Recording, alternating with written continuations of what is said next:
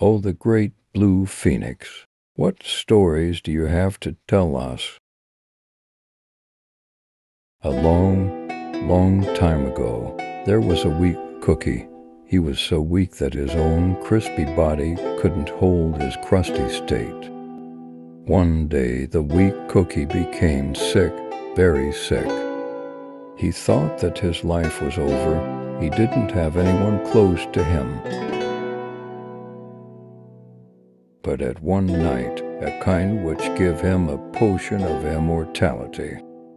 She warned him that if he drinks this potion, he'll never be the same cookie ever again. You'll be feeling a burning spice all over of your body. But the weak cookie didn't listen to her warning. He drinks the potion of immortality and felt the burn inside of him. The weak cookie felt more powerful, more beautiful, more hot than ever he could imagine. He became something more than a spices. He now called himself Blue Phoenix Cookie, the great Blue Phoenix. He began to collect all the riches, golds, and crystals. He became very greedy. One day, a cookie in gold came to his palace. She asked him if she could get some golds for herself. The great blue phoenix was about denied her request, but until he noticed something, something more precious than any riches and golds.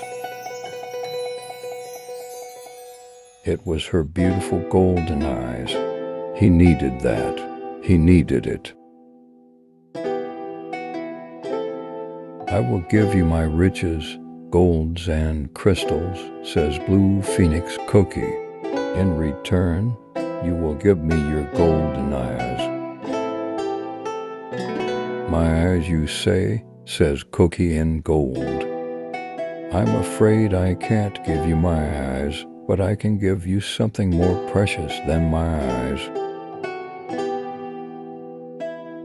More precious than your eyes which is it? asked Blue Phoenix Cookie.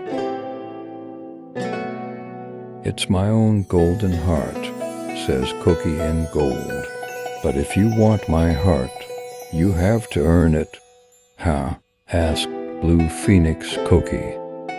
Simple, you have to stole it by showing around your palace. Blue Phoenix Cookie thought about it for a moment. Then he agreed with her. I will stow your golden heart, and you'll be my precious treasure forever.